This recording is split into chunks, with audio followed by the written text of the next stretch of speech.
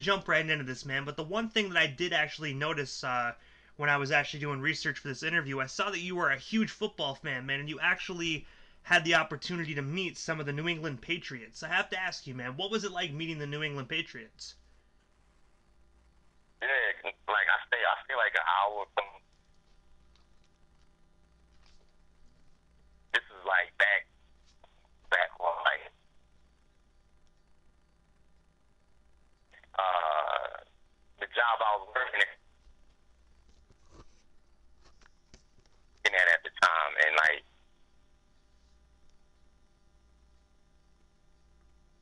Patriots, so so I was in there. It's 41, 15, something like that.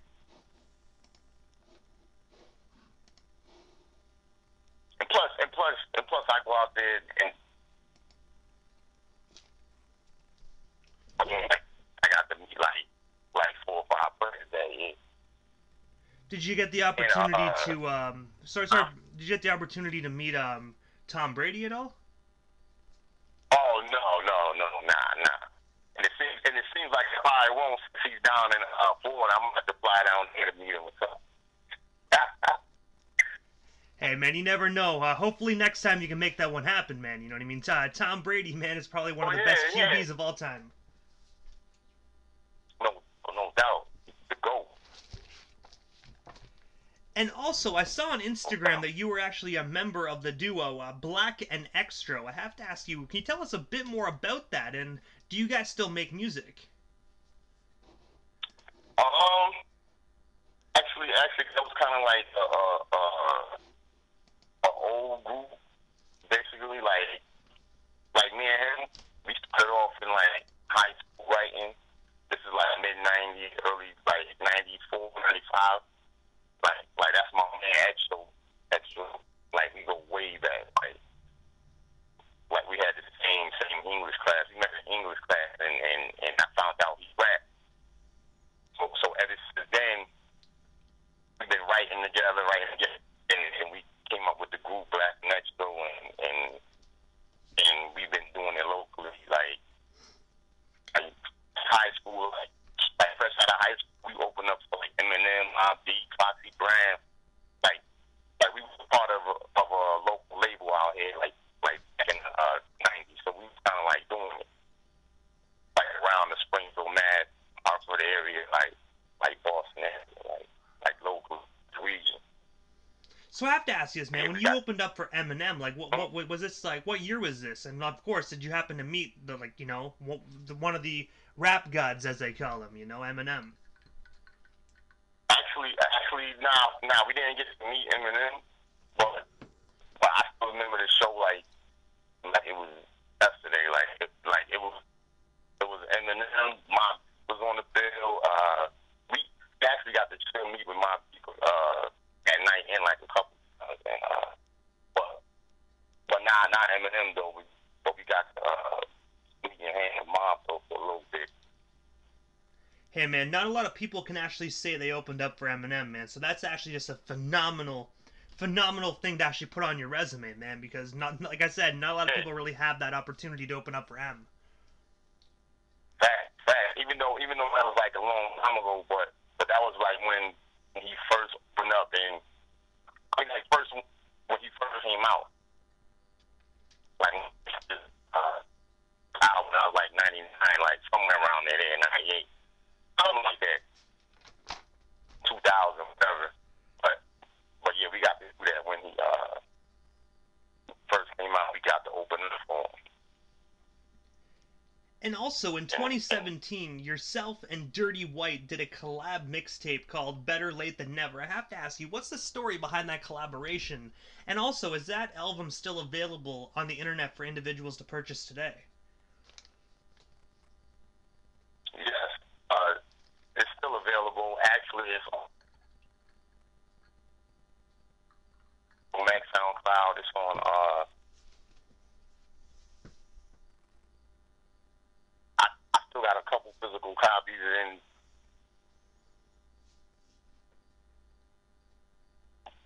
get into the the, the an official copy. But um, but yeah, that whole that whole mixtape came about. Um, just like just how you digging into my my past, cause like the '90s, I, I, like basically I was doing music in the '90s and it stopped. Like, some some some crazy stuff happened with the music, like with and stuff. So we, a lot ended up bumping heads. So so over the years, from like 2002 to like 13, 2013, I kind of like just fell back from music, but my love for the music brought me back. So basically, when I started back, that's kind of what gave me the title Better Late Than Never, because for me to come from the 90s to now, it's kind of like, okay, hey, I'm, it's kind of like, I'm late, but it's, it's better late than never, like, than not trying to do, like, basically not making it at all, like, still to make it happen. That's how I got that title. Hey man, it's a great it's a great title for it, man. And when you say you still have hard copies, man, how can people hit you up? Like, of course, if they're for sale, like how can people hit you up to get themselves a hard copy of that? Um, actually, uh, probably could probably hit me up on Instagram at Black AKA Mr. Mac on my Instagram, on my Facebook, Joe Mack. Can hit me up, or or actually, uh, actually, if if if, if people you know they can hit you up too, and then and then you attack me and then and then, and then get into it like that too, also. Hey, most definitely. And also, I noticed you did a lot of work with Johnny Cash. Uh, sorry, sorry, Ca- Cashanova. I have to ask you, uh, how did you get connected with Johnny? And like, of course, what was it like working with him? Um, Johnny, me and Johnny go way back, like like like from when, because me and him was working at the same place, so basically found out I was basically this was around the time I started back doing my music, like 2013, 14. So, and then there was a producer working at the at the same place we was working at, and then he brought us both to his clip at the same time, and, and that's but but me and John been vibing before the producer that we worked with brought us to the crib at the same time, so we decided to and and, and then ever since then, like way a couple years ago, like like we just stayed connected like over the years, and and until like recently, like stuff is really starting to like come when it come about like the uh, a shot video we like that. I think that's the first video we did like when was that, last year. Last year, yeah. But um, but the first track me and him ever ever jumped on together was was my track I came out with late 2018. Uh, which one was it? Um, man, I forgot which that we done did so many. I forgot which one, but but yeah, we're gonna and we've been we've been linking up since then. Like ever since we met up at the work at the work spot, and and, and he got some and he got some solo stuff to drop too. Like like he's like yo, he's fine. And I gotta say, I've, I've listened to Johnny's music, man, and he is a phenomenal, phenomenal individual, man. Most definitely brings the heat. Definitely, definitely, definitely something to watch out for, man. He got he got fire coming. And I also saw that you were actually a part of the trio called MDS. I have to ask you, what's the story behind that formation, and how did you meet the other the other two members? Um, yeah, this story kind of crazy too, cause uh, it's like it's kind of like everything goes back to like the '90s. Um, back in the '90s when me and X was the Black Connection, we were signed to the local label. Don's Day that and MDS was on the same label we was on back in the '90s. So he kind of like did the same thing like over the years. But over the years, he kind of like kept on like dibbling, dabbling, like in and out the music. Like like he got tracks with like known artists too, like Hell Round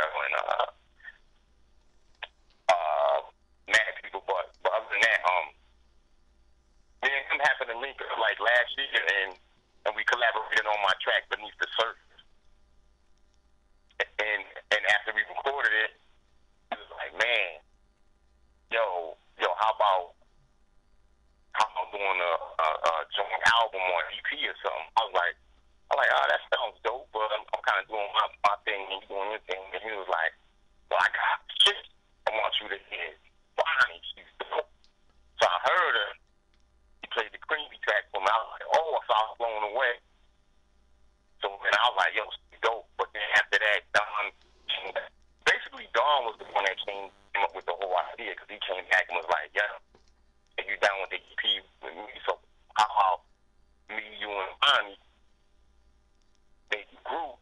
We think of the name. We sat down, chopped it up one day, and, and then bam, we came up with MDS. Now this is where we at with MDS, and plus we doing our own our own solo stuff too. So so yeah, this is where we at with it right. And I man, one of my favorite songs that you guys you guys have done so far actually got released this past February, called the MDS Anthem. Man, I have to say to you, man, that song is absolute fire. I personally love it, man. I actually got it in ro- rotation here on the radio. But I have to ask you, man, what's the inspiration behind that single? And of course, man, like where can our listeners buy or stream themselves a copy? Um.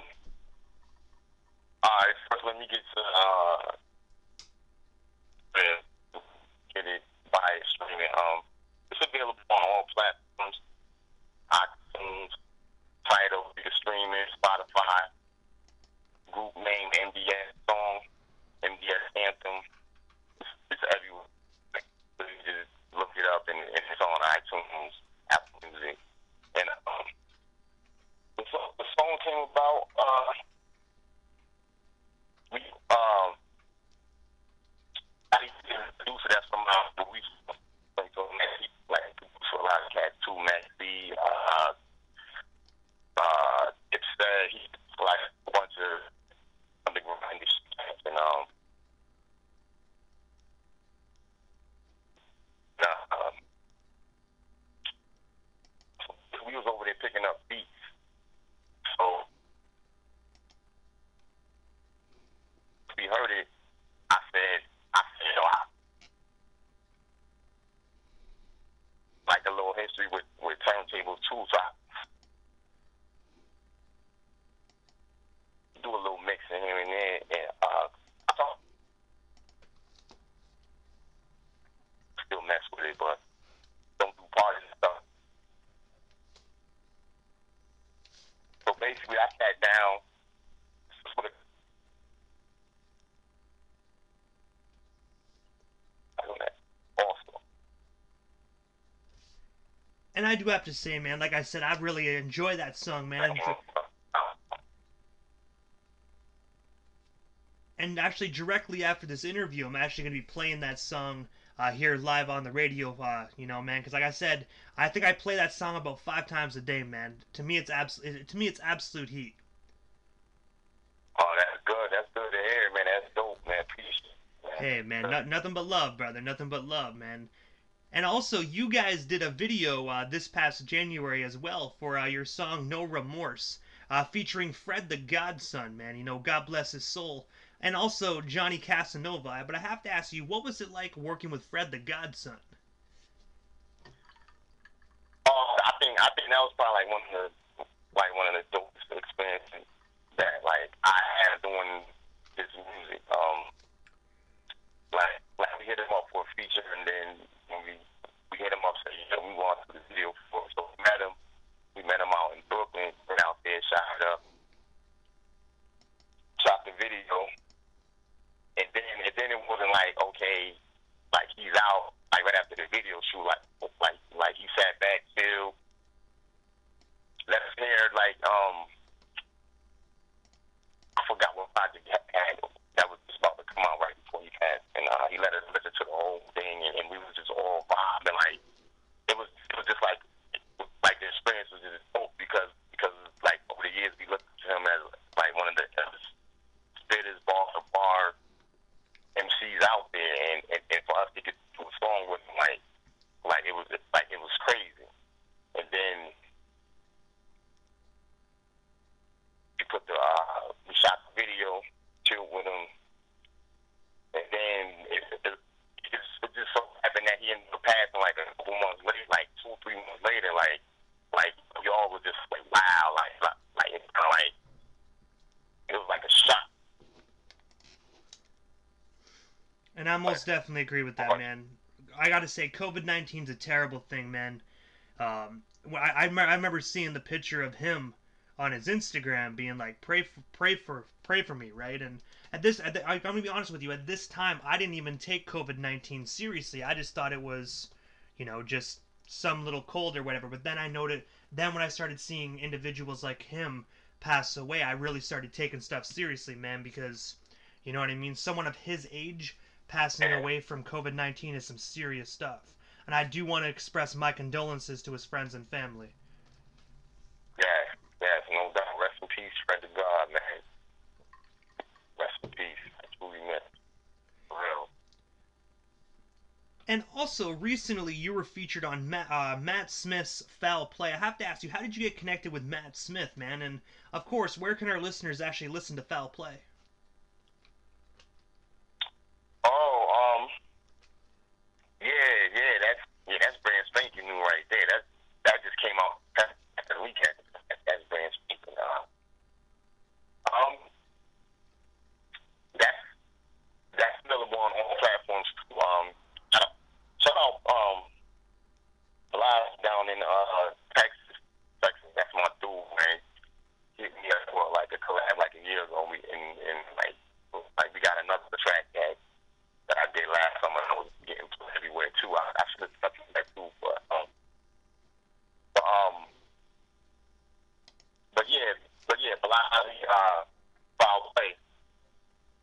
That's on all platforms: Apple Music, Spotify, everywhere. You can stream it, buy it. That just came out this past weekend. It's brand spanking. That's yeah, that's dope. That's dope right there. Shout out to Blind. And I have to ask you, Joe, what's next for you? Is there anything I happen to miss during this interview? Anything else you want to promote or let our live listeners know? Will we still have you here on the air? Um, got a new single dropping probably within the next next week or two. Uh, yeah, sure. So he's a he's an upcoming underground artist as well. He's dope. It's produced by King David Beats. Uh, he's dope. He's an underground producer too. And, um, MDS MDS uh, new single called Gray Freak Treat from Glacier Green. And I got some solo stuff that, that's going to be coming soon. Produced by my man uh, uh, DJ Bless down in Carolina. He did my track. Matter of fact, I got I got a track I did with Conway the Machine back in 2017 that he produced. I don't I don't I don't think I sent you that though. That's I got I got a track with Conway the Machine. I, I um did a track with him right, right before he signed with Eminem. You could do that, and then about to come with some my uh, my soul track called called Hard Rock. So so yeah, I got a I got a I got a lot of stuff coming. I got a lot of stuff coming. So so everybody want to stay tuned, keep in tune with me. Follow me on on Instagram at AKA Mr. Mac. Facebook. Same thing, back AKA Mr. Mac, my personal Joe Mack. Twitter, Black413 Mr. Mac. Yeah, follow me on everything. Stay tuned. Got a lot of got a lot of good stuff coming, man. And I gotta say, Joe, thank you so much again for coming on 97.7 Outlaw Radio FM, man. It truthfully was an honor and most definitely a privilege, and I hope down the line we can make this happen again sometime soon. Thanks, thanks, thanks for having me, man. Appreciate you, no doubt. We definitely definitely make it happen again. Hey, man, most definitely, you are most certainly welcome, and whenever you need that extra exposure, don't hesitate to hit me up, man. We can set something up for sure. For sure, no doubt. I definitely I'll definitely be keeping in touch with you, man. For real. Most definitely, man, and uh, try and stay safe out there. But for now, man, have yourself a great night. All right, you too, man. Peace out. Peace. Much love. Much love, brother.